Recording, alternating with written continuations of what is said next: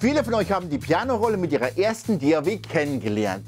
Jeder aber, der auch nur ein bisschen was mit Musik zu tun hat, kennt sowas natürlich auch. Mit der sogenannten Partituransicht kannst du Songs so schreiben, wie es Mozart schon gemacht hat.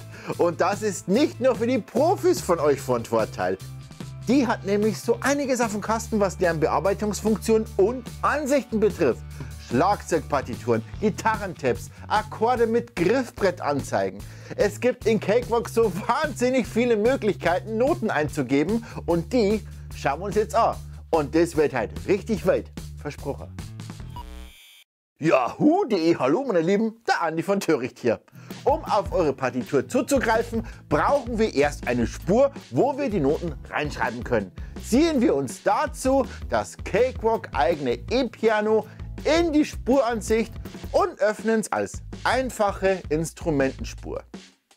Dann markieren wir die Spur und gehen dann auf Ansicht, Partituransicht oder für die Tastatur-Shortcut-Liebhabenden unter euch einfach Alt plus 6. Wie auch die Pianorolle dockt die Partitur nun unten ans Multidock an. Dadurch geht die jetzt immer so halb auf und mit der Taste D wie Dora könnt ihr das schnell ein- und ausblenden. Wenn ihr das in Vollansicht haben möchtet, drückt einmal Umschalt D und jetzt könnt ihr wieder mit D zwischen der und der Spuransicht wechseln. Oder ihr macht es ganz anders, indem ihr das einfach rauszieht aus Cakewalk und somit wird ein schwebendes Fenster draus. Zum wieder andocken einfach wieder in den Multidock-Bereich ziehen. Das ist die Partituransicht und wir verschaffen uns erstmal einen kurzen Überblick, bevor wir ins Detail gehen. Hier oben ist der Menübereich, mit dem es verschiedene Funktionen wie zum Beispiel Drucken gibt.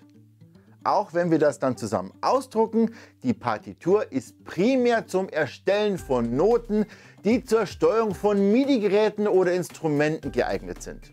Wollt ihr professionelle Partituren erstellen, dann guckt euch mal die Software MuseScore an. Hier haben wir ein Notenauswahlwerkzeug, um schnell zwischen den verschiedenen Längen zu wechseln. Darunter gibt es die Zoom-Funktion. Mit einem Linksklick auf das Plus vergrößern wir und mit einem Klick auf das Minus geht es wieder weiter weg. Mit Mausrad und gedrückter Alt-Taste, wie wir es gewohnt sind in Cakewalk, geht der Zoom hier leider nicht. Das mache ich zwischen den beiden Buttons mit Linksklick nach oben und nach unten ziehen. Rauf und runter scrollen geht wieder wie gewohnt mit dem Mausrad. Will ich nach links oder rechts, halte ich beim Scrollen die STRG-Taste gedrückt. Daneben in der Werkzeugleiste kann ich noch weitere Modi auswählen, um neben Noten auch Sachen wie Akkordsymbole, Songtexte oder ein Sustain-Pedal einzufügen. Sustain? Sagen wir Sustain. Manche von denen sind MIDI-Funktionen und andere sind wiederum rein kosmetisch und schauen halt einfach nur gut aus. Rechts daneben ist mein Infofenster. Das zeigt an, auf welcher Position mein Mauszeiger gerade hin zeigt. Und mit einem Linksklick kann ich einfach meine Noten eintragen. Da oben wähle ich mir eine Viertelnote aus und klicke hier an den Anfang mit Linksklick die Note F ein. Geht das nicht, stellt sicher, dass ihr auch mit dem Smart Tool arbeitet. Entweder oben im Modul auswählen oder alternativ mit dem Mausrad Klick. Wahnsinnig hilfreich ist dabei mein Infofenster. Da drin befinden sich drei Infos, die uns mehr zur aktuellen Mausposition verraten. Wo befindet sich die Position anhand der Zeitleiste, also links, rechts. Und das wird unterteilt in Takt, Grundschlag und Ticks. Das hier sind die Takte. Takt 1, 2, 3 und so weiter. Diese sind jeweils unterteilt in Schläge. In unserem Fall bei 4 Viertel sind das jeweils 4 Viertelnoten. Somit ist ein Takt eine ganze Note lang, ein Schlag eine Viertelnote. Geht natürlich auch noch kleiner. Dazu wird dann so ein Schlag oder auch Grundschlag in sogenannte Ticks aufgeteilt. Dabei sind dann 960 Ticks eine Viertelnote. Falls euch das aus irgendeinem Grund nicht gefällt oder das MIDI-Gerät, das ihr ansteuert, einen anderen Wert verwendet, drückt ihr die Taste P für die Voreinstellungen und könnt dies unter Projekt Taktquelle abändern. Für den Rest von uns ist aber eine Viertelnote 960 Ticks lang, eine Achtelnote 480 Ticks, eine Sechzehntelnote 240 Ticks, eine 32 120, ein 64 sind 60 und ein 128 sind 30 Ticks. Als weitere Info haben wir, ne haben wir die als weitere Info haben wir die Note, auf die wir zeigen oder mit einem Klick zeichnen würden. Aber nicht nur die Note selbst, auch die zugehörige MIDI-Notennummer. Mithilfe des Infofensters geht das nun wesentlich einfacher. An Position Takt 2, Grundschlag 2, also hier, will ich eine Achtelnote reinzeichnen. Die Länge wähle ich mir hier aus und wenn ich jetzt klicke, wird doch wieder Viertelnote draus. Da wären wir schon bei der ersten Hürde, die viele Anfänger verzweifeln lässt und sie wieder zur Pianorolle zurückspringen. Die Lösung ist aber ganz einfach. Es ist nämlich nur Ansichtssache. Dazu müsst ihr unter Anzeige Längen aufrunden ausschalten. Jetzt wird die Länge korrekt angezeigt. Ich setze mir auf Position 2, 02, 480, also genau hier noch ein Sechzehntel und daneben bei Tick 720 noch ein 32. Aber jetzt ist das 32. doch wieder Sechzehntel. Aber auch hier wieder alles nur Ansichtssache. Die Darstellung ist im Moment auf Sechzehntel eingestellt. Heißt also, Sechzehntel sind die kleinste dargestellte Note. Habe ich 32. Noten und habe die auf... Oh, jetzt reiße die weg, du Sch Klebestreifen, der immer macht. Äh. Habe ich 32. Noten und habe die Auflösung als Sechzehntel, sehen die 32. so aus, als würden die immer zeitgleich spielen. Stelle ich auf 32 um, wird es auch korrekt dargestellt. Wie ihr auch schon gesehen habt, braucht ihr euch um die dargestellte Taktlänge und Pausenzeichen überhaupt keine Gedanken machen. Das macht Cakewalk automatisch. Die Noten senden MIDI-Daten, die Pausenzeichen nicht. Die sind rein kosmetisch. Es gehen aber auch andere Längen, zum Beispiel kann ich hier auf Triolen wechseln. Bevor ihr die aber verschiebt, macht euch im Raster auch die Drittel an, sonst wird die Note bereits beim Draufklicken aus seiner Originalposition verschoben und das schöne Triolendrittel ist damit kaputt. Punktierte Noten gehen auch und zwar mit diesem Button. Natürlich kann ich auch eine Note nachträglich verschieben. Wie auch in der Pianorolle ist die Rasterfunktion dabei ziemlich nützlich. Die kann ich mit der Taste N wie Raster schnell ein- und ausschalten. Oh Gott. Ein großer Vorteil gegenüber der Pianorolle ist, dass ich nur Noten reinzeichne, die in der Tonart vorkommen, die ich in meinem Projekt definiert habe. Ich bin hier in meiner Partitur in C-Dur bzw. A-Moll, also ohne irgendein Vorzeichen und damit gehen die Noten C, D, E, F, G, A, H und wieder C. Andere, wie zum Beispiel ein Fis, gehen auch, aber nicht so einfach. Um eine tonartfremde Note zu erstellen, Linksklick und gedrückt halten, währenddessen einmal kurz Rechtsklick und mit immer noch gedrückter Linkstaste könnt ihr nun alle verfügbaren Noten auswählen und positionieren, sobald ihr die Maustaste loslasst. Das geht auch mit vorhandenen Noten.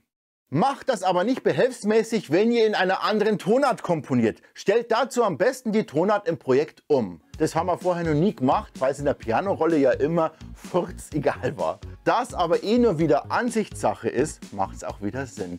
Außerdem seid ihr dann nicht nur auf eine Tonart pro Projekt beschränkt. Will ich in G-Dur arbeiten, gehe ich erstmal auf Ansicht, Takt, Tonart. Und da finde ich in der Liste einen Eintrag 1 4 Viertel C. Heißt, dieses Projekt läuft ab Takt 1 im Viervierteltakt in C-Dur. Möchte ich das ändern, mache ich einen Doppelklick drauf und kann nun Takt und Tonart anpassen. Das ist somit für das gesamte Projekt. Will ich Tonart und oder Takt ab Takt 15 anders haben, klicke ich auf das Plus und trage die Daten entsprechend ein. Uns reicht aber erstmal, wenn das ganze Projekt in G-Dur läuft. Wieder zurück in der Partituransicht hat sich auch etwas geändert. Zum einen sehen wir jetzt hier ein Vorzeichen passend zur Tonart G. Aber auch meine Fs wurden hier mit einem Vorzeichen versehen, weil es in G-Dur hier ohne Vorzeichen ein Fis wäre. Weil es aber ein F ist, muss das mit einem Vorzeichen gekennzeichnet werden. Zeichne ich nun aber eine neue Note an der F-Position, macht es daraus korrekterweise ein Fis, weil wir in G-Dur sind. Jetzt gibt es aber natürlich noch viele andere Layouts, mit denen ich arbeiten kann. Mit einem Klick hier übers Menü, Bearbeiten Format, komme ich zu den Layout-Optionen. Und da gibt es schon mal eine Auswahl der sogenannten Schlüssel. Im Moment haben wir den Violinschlüssel. Wir können aber auch Bassschlüssel oder beide, Alt, Tenor, oktaviert oder Percussion. Ziehen wir uns dazu Cakewalks Schlagzeug VSTI als Instrumentenspur ins Projekt, wählen diese an und gehen wieder auf Ansicht, Partitur. In den Layout-Optionen stellen wir die Partitur auf Percussion um. Das hier steht dann für eine Kick, hier eine Snare, Hi-Hat geschlossen oder offen. Das könnt ihr euch alles so anpassen, wie ihr wollt. Im Layout-Menü gibt es hier den Button Percussion-Einstellungen und hier lässt sich jede MIDI-Note einer Position und Form in der Partitur zuordnen. Aber auch ihr mit Bass und Gitarre kommt auf eure Kosten. Ich spiele auf der Gitarre mal diesen C-Akkord. Anstatt jetzt umzudenken, was hier welche Note sein könnte, nutze ich lieber die Tabulaturansicht. In den Layout-Optionen aktiviert ihr dazu Tabulator-Anzeigen und welches Layout ihr haben wollt. Bass oder Gitarre. Die MIDI-Gitarre ignorieren wir erstmal kurz. Jetzt kann ich meine Griffe auch so eintragen, wie ich sie spiele. Mit Linksklick füge ich eine Note ein, dabei halte ich die Maustaste aber gedrückt und ziehe nach oben oder unten, um die Fret-Position anzugeben. Zeichnen wir den Akkord von eben. Die E-Seite lassen wir leer, ist ja eh gemutet. Beim A klicken und ziehen wir auf Bund Nummer 3, also ein C. Beim D Bund Nummer 2 für ein E. G spielt leer, also 0. Bei der H-Seite nehmen wir den ersten Bund, damit es ein C draus wird. Und die hohe E-Seite spielt auch leer, wieder mit nullten Bund. Da wird aber dann nicht unterschieden zwischen zum Beispiel einem E auf der offenen E-Seite und einem E auf der H-Seite im fünften Bund. Beides sind für Cakewalk die exakt gleiche MIDI-Note, nämlich E5, Notennummer 64. Cakewalk versetzt dabei identische Noten immer nach rechts, um hier anzuzeigen, dass diese Note zweimal gespielt wird. Für noch mehr visuelles Feedback aktiviert euch in der Ansicht zusätzlich das Gitarrenbrett.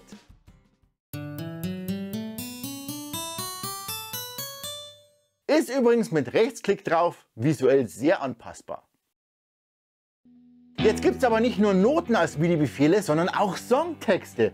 Habe ich meine Noten eingetragen und will da jetzt einen Songtext dazu, klicke ich auf das Modul Lyrics. Jetzt wird alles so leicht ausgegraut und diese Linie da unten wird sichtbar. Das mischt sich aber nicht so gut mit verwendeter Tabulatur, also schalten wir die über das Layout-Menü wieder ab. Ist die weiße Linie mal weg, einfach nochmal auf Lyrics klicken.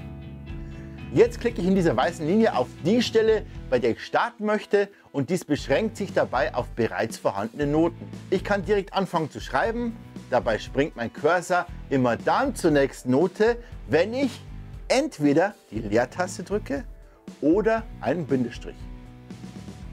Bin ich fertig, drücke ich die Enter-Taste.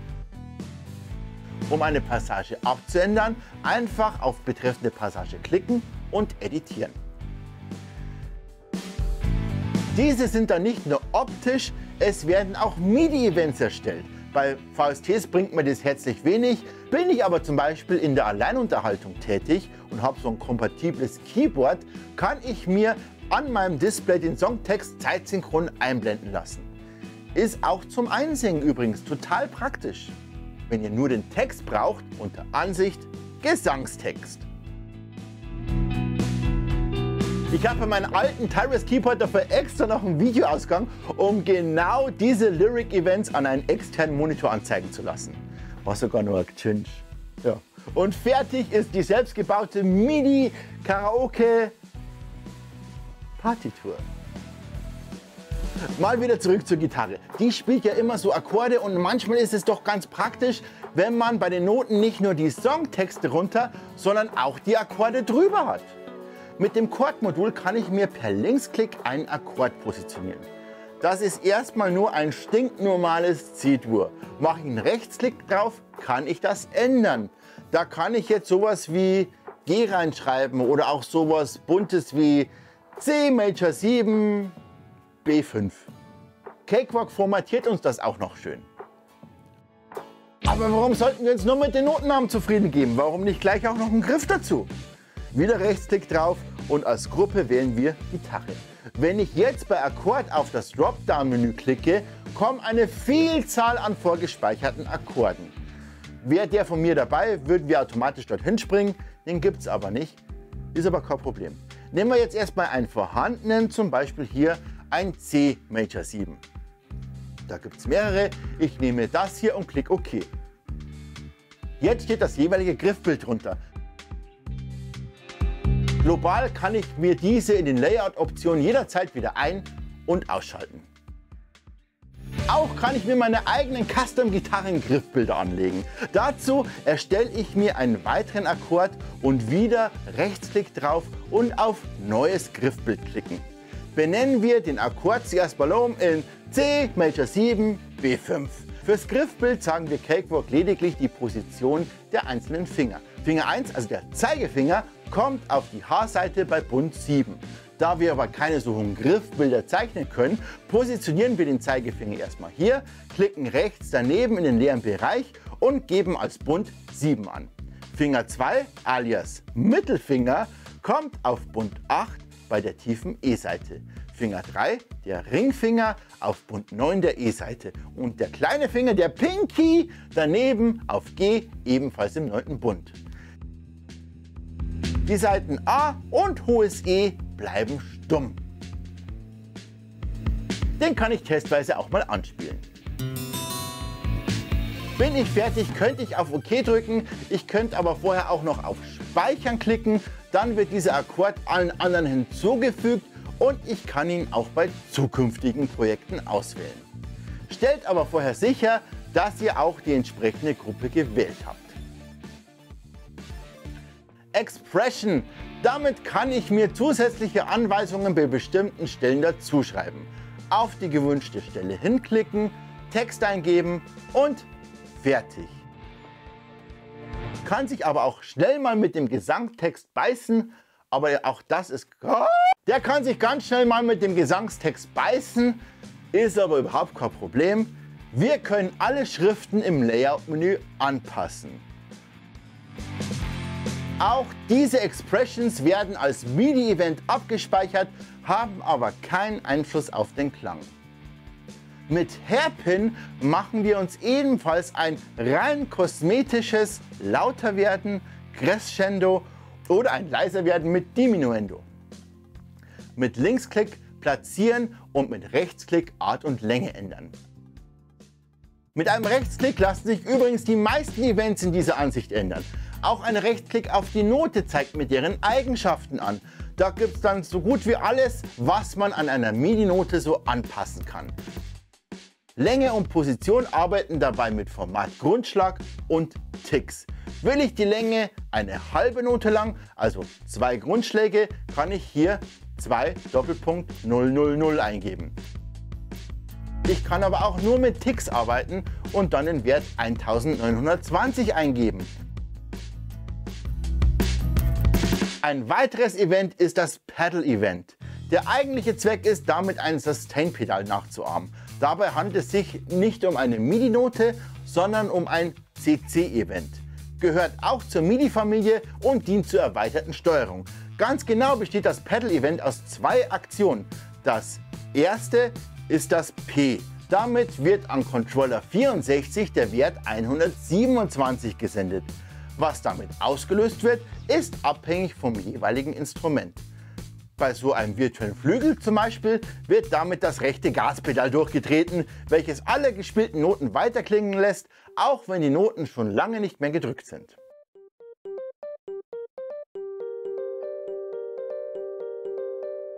bis wir zu dem Sternsymbol gelangen. Damit sendet Cakewalk wieder an Controller 64, dieses Mal aber den Wert 0. Bei unserem Klavier wird damit das Fußprumpedal genommen und alle Töne verstummen.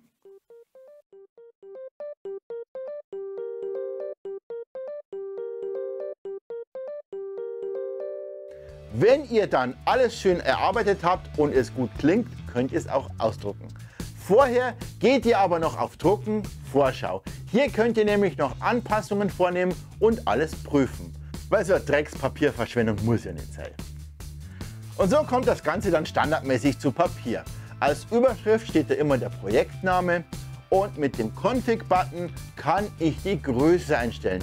Die ändert sich aber nur, wenn ihr auch entsprechend viele Zeilen habt. Ich kann in der Ansicht und auch zum Drucken auch mehrere Spuren gleichzeitig auswählen und es geht auch ganz fix. In der Spuransicht markiere ich mir alle Spuren, die ich anzeigen möchte und gehe dann auf Ansicht, Partituransicht. Diesen Schritt muss ich jedes Mal machen, wenn ich die Auswahl der Spuren in der Partitur ändern will. Dann druckt euer Ergebnis mal schön aus und bis ihr endlich Ersatz für eure eingetrockneten Patronen habt, empfehle ich euch so lange dieses Video. Vielen Dank fürs Zusehen, ihr Lieben. Und bis dahin, Bussi aufs Bauchibärli und Servus.